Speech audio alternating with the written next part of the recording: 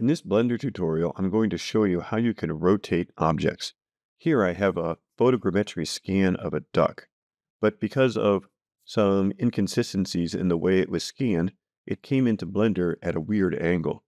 Often, if you have a photogrammetry scan, it will be rotated correctly, but many times photogrammetry scans have strange origins. It's best to fix this in the photogrammetry software, but we can also fix it in Blender. Select the object in Blender then over on the left, we have rotate tools.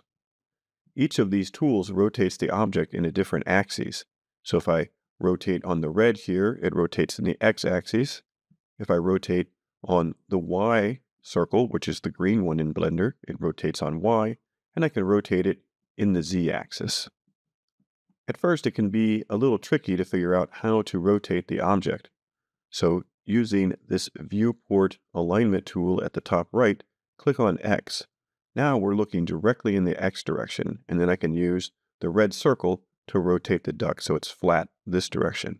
Then if I click Y, I can then see directly in the Y direction and rotate the duck so it's flat in the Y direction. Then I can double check X and then rotate it back. You need to double check both times because you're kind of slowly creeping up on what is level. And if you do this a few times, it will rotate, and be flat. If I press G, I can then move the duck up to the top.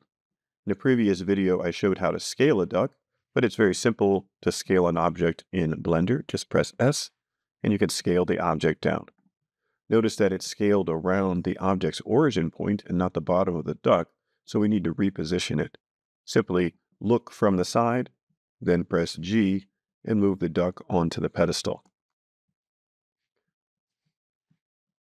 So now we have our rotated duck. It is scaled and we're ready to make a beautiful render of our duck.